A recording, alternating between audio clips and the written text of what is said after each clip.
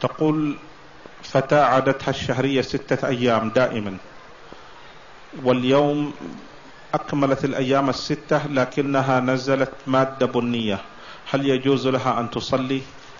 لا تصلي حتى ينقطع الدم تماما ما دام يخرج منها شيء فإنها تنتظر حتى ينقطع تماما ويحصل النقاء التام ثم تغتسل وتصلي نعم.